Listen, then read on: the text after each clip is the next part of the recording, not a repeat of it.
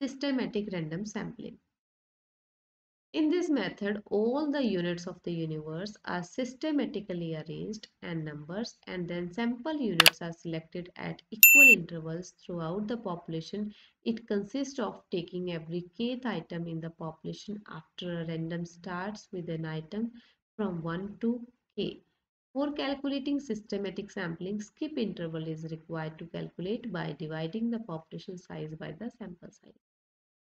Skip intervals formula is population size over sample size.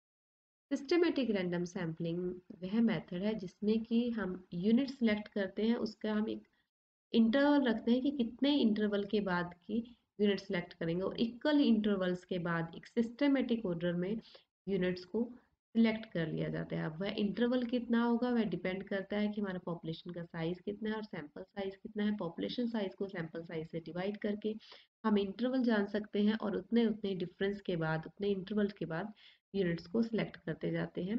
तो जब तक हमारी पॉपुलेशन की सभी यूनिट्स पॉपुलेशन का एंड नहीं हो जाता। Let's understand it researcher wants to conduct survey of university students. Suppose the total university strength is 5000 and the sample size is 50 calculate k. K means skip interval that is total population size divided by sample size 5000 over 50 that is 100 so every 100 student will be selected into the sample. The use of skip interval formula ensures that entire list will be covered. Step second will be any number between 1 to 100 is chosen at random suppose the number thus selected happens to be 74 then the sample will comprise the number 74, 174, 274, 374, 474 up to 4874 and 4974 up, up to the end of this list. Like there is a population, let's understand it with the help of a conceptual diagram. There is a population and systematic random sampling technique has been applied. Say every third person has been selected.